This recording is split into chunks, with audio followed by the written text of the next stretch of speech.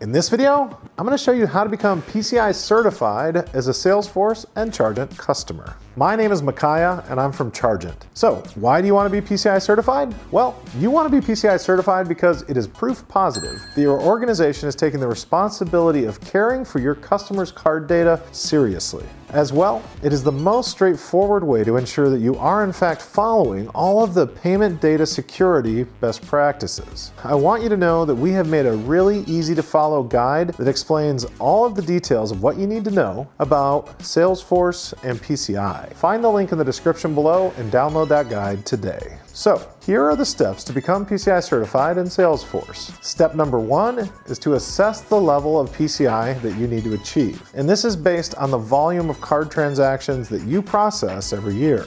Step number two is to hire a qualified security assessor. If you're level one or level two, they're gonna lead you through the process for your organization. And you can find a list of certified QSAs on the PCI Council's website. If you are level three or level four, your next step is to call your payment processor. I want you to ask them if they have a program that you can leverage. Assuming that they do, just go ahead and follow those steps and you'll be all good. Now, step number three.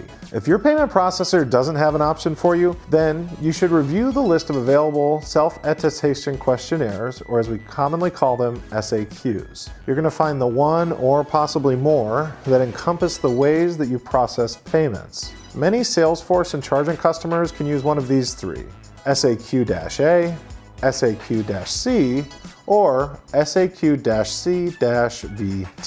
Usually, your payment processor can give you more guidance on this if you're not 100% sure. Step number four, you're gonna download and complete that SAQ document from the PCI Council's website. Inside that document, there's an additional section called the Attestation of Compliance, which we commonly call the AOC, not that AOC, which is part of the SAQ. Step number five is train your team.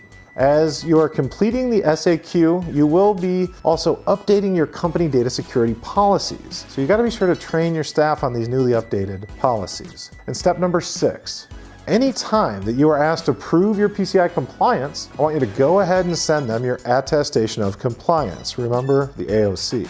You are now ready for when anyone asks you if you are PCI certified. One other important thing to note. I want you to remember that no organization can completely absolve or take away another organization's PCI scope entirely. And while technology like Salesforce and Chargent, we can assist in lowering your PCI scope, if you do take cards, you do have PCI liability. I want you to check out this video here where we'll talk more about this.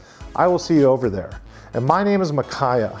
Here at Chargent, we help make payments easier for smart business leaders who use Salesforce. Remember at Chargent, we are always here to help.